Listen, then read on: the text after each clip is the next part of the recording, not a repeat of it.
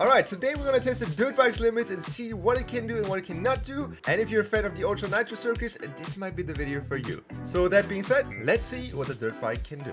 So the first thing that I have to do now from now on and forever, for every time we get a new vehicle in Fortnite, we're gonna put it in the Mr. Beast press. So if you're wondering what this is, this is the press where Mr. Beast put a Lambo in and I built it in Fortnite.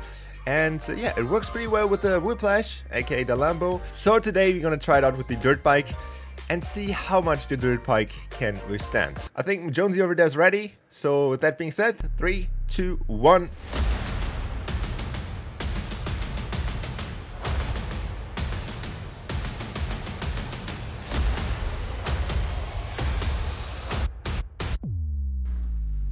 Well, um, I would say it didn't survive at all. Alright, for the first test, we're gonna see how fast the dirt bike is on a 100 tile race. This is the same 100 tile race that I use for every car, and obviously the dirt bike has to do it as well. The first race is gonna be on flat creative ground, and we're gonna basically have a look on how it performs on a flat with no effects, no uh, different underground, because undergrounds can actually affect how fast a car or a bike is. So let's have a look on how fast the dirt bike is on a 100 tile race. Almost 29 seconds. It is not the worst, but it's also definitely not the best. It is obviously dirt bike, not a race bike. Alright, so one thing which I really want to see if the movement modulator, which basically got re-added or got redone with the last update, actually does affect the bike and if we can get faster speeds while using it. Um, duration is gonna be infinite, if that is possible, or 600 seconds, I guess. And let's actually have a look if the speed modulator does affect the dirt bike. Three, two, one. Oh my god, yes. Oh my god. I think I'm doing a... This is so fast. Yeah, I think we are doing a front wheelie the entire time we are doing this. Okay, so well, I think it's pretty safe to say that the speed modulator can affect the dirt bike, but it, the physics again are a little bit broken. And I think it's only fair to assume that since it's a dirt bike, we should do pretty well on dirt. So maybe dirt in combination with the movement modulator can actually give the maximum speed, but we obviously first have to find out if the dirt actually does make the dirt bike faster. It's taking a lot longer to reach max speed on dirt, which is pretty odd. We're already at 22 seconds. I don't think that dirt actually...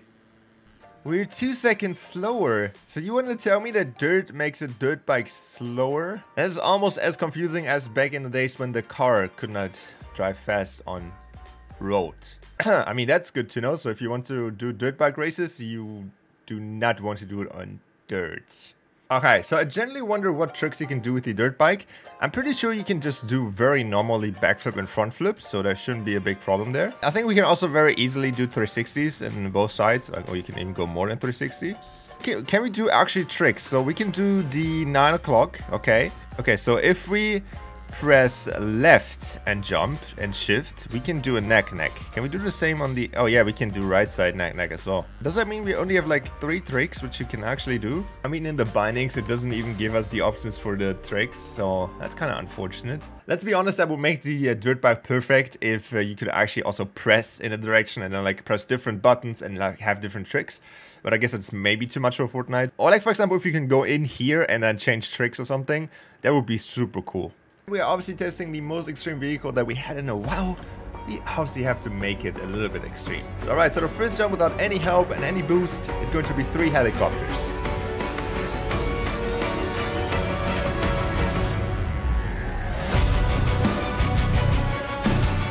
I'm pretty sure that deserves a Griddy. For this next one, we're gonna jump over 10 mega size Jonesies. And this is with max boost and a boost pad at the end of the ramp.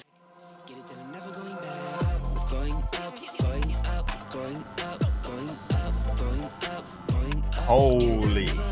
Holy. So there's one last thing which I really want to try out and that's if it obviously works with the D launcher. Uh, well, I guess I guess we just go for it, right? It does work. Oh, now it adds 720. Alright, so I almost forgot to test that out, but we're in the mutator zone now. And I want to see if the mutator zone actually affects the... So it seems like that the mutator zone does not affect the dirt bike at all. So I put it to 200 and it still does the same thing as it would do in normal ones. Okay, so this is the maximum speed and jump that we can possibly get. We have a maxed out D-launcher, we have a maxed out movement modulator, and we have a dirt bike. I guess we just go for it. Oh my god. Dirt bike, 10 out of 10.